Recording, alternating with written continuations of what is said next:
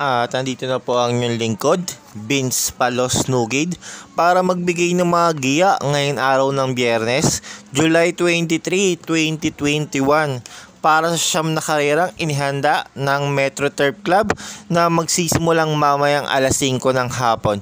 So good luck po uh, sa mga gustong sumali ng GC. Need nyo lang pong sumali sa aming bakasan na ilang beses na pong muntik-muntika na makadali ng mga dehadong take all pero twice naman po na nakakuha ng mahigit 200,000. So good luck po. Sana naman uh, manalo tayo ngayon. Uh, dito nga po sa unang karera kung saan gaganapin din yung per set ng ating winner take all event. Pampremera ko po, numero 8, Batang Cabrera. Tingin ko ito po yung Yamado dito sa grupon to.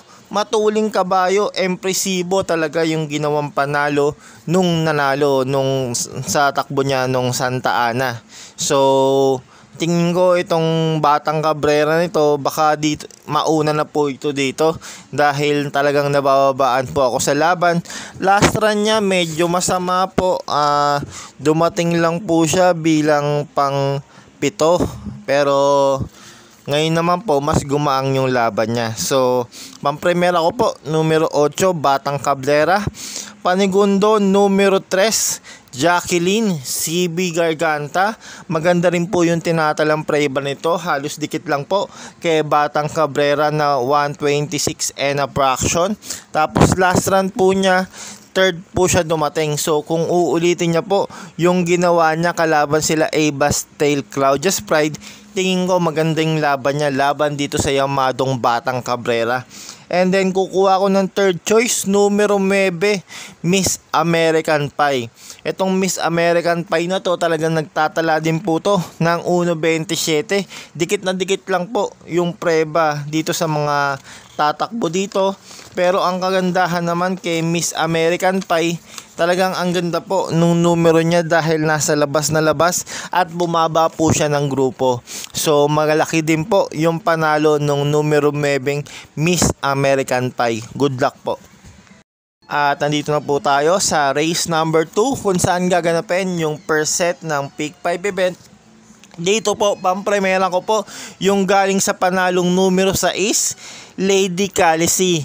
Itong Lady Calisi na to, talagang impresibo rin po yung tinala niyang panalo. Kalaban na rin sila Quincy. So, bibigyan ko po ng panalo tong numero 6, Lady Calisi.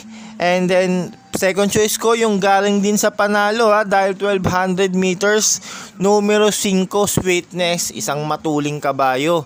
So, talagang impresibo yung tinalang panalo ni Sweetness.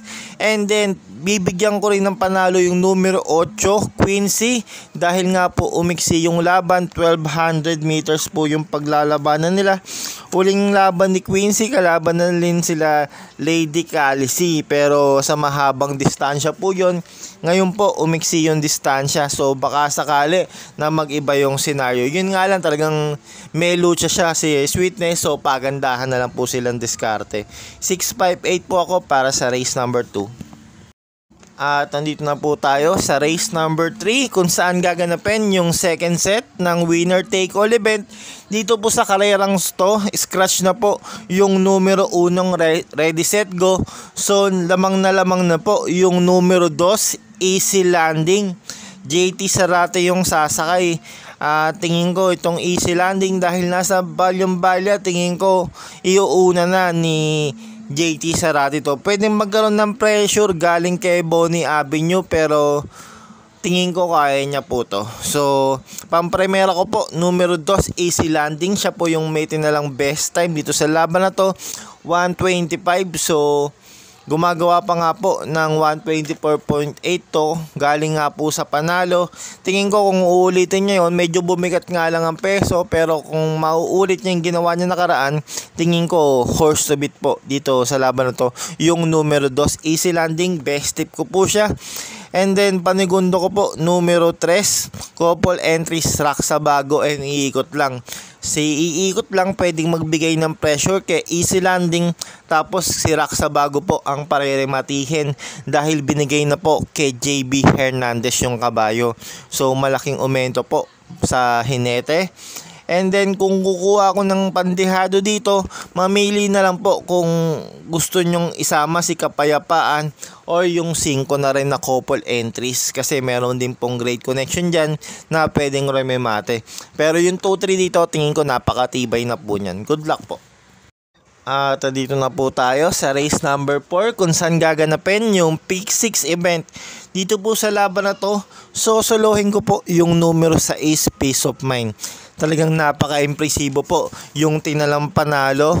Uh, malayo pong nanalo tong Pace of Mind uh, last July 17 po yon pitong kabayo si MB Pilapil na rin po yung nagdala. Ngayon po dahil no bearing no effect na pesahan ng dalawang kilo.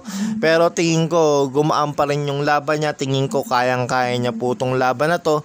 So numero sa Ace Peace of Mind, panolong panolo po sa akin. Pantipid kapital na po yan. Good luck po. At lipat na po tayo sa race number 5 kung saan gaganapin yung second set ng Peak 5 event. Dito po sa laban na to, lamang na po yung numero 4, Play It Safe. Dahil scratch na po yung mabigat na mga kalaban niya na numero 5 right answer.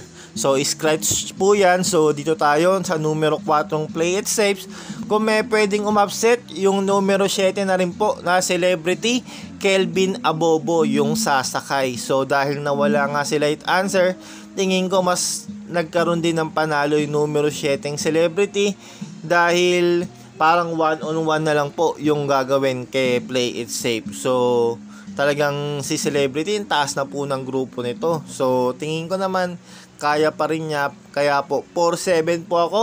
Inuulit ko po, scratch na po yung numero 5, right answer. At nandito na po tayo sa race number 6. Pagsisimula naman po ng Pick 4 event, best long shot ko po dito, numero 2, Summer Cruise. MD De Jesus, talagang gamay na gamay po ni Jackie MD De Jesus yung kabayong to. Yung 1200 meters medyo maiksi po para sa kanya pero yung nakikita ko naman senaryo maghahagaran po yung 135 dito sa laban na to. So tingin ko na malaki po yung panalo nitong dehadong Summer Cruise kaya siya po yung best long shot ko. Medyo inaasahan ko po tong kabayong to dito.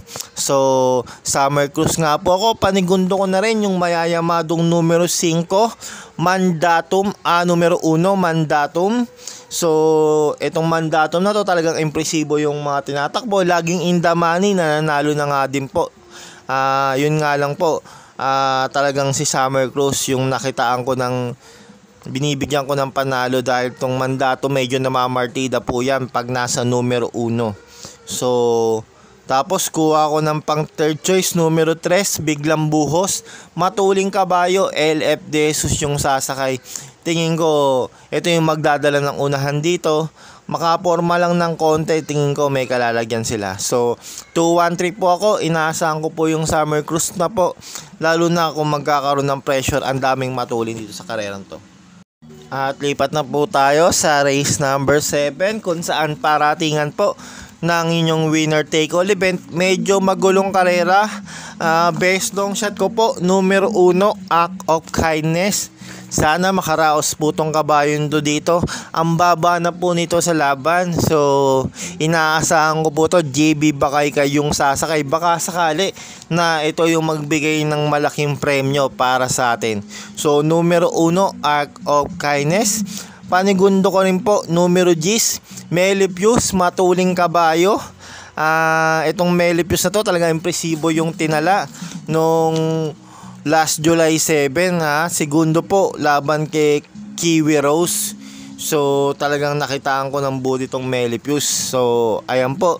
And then kuha kong third choice numero 3 Sinag. Uh, mababa na rin po sa laban JQ Cabarios. Uh, malaki din po yung panalo tong kabayon to. Medyo magulong karera, magdagdag tayo. Ang daming may panalo di sa karerang to. So good luck. At lipat na po tayo sa race number 8. Uh, ah, dito sa karerang to, medyo magulo din po tong karerang to. Uh, pipiliin ko lang po yung numero 2, A Bastille. Uh, itong si A Bastille na po to.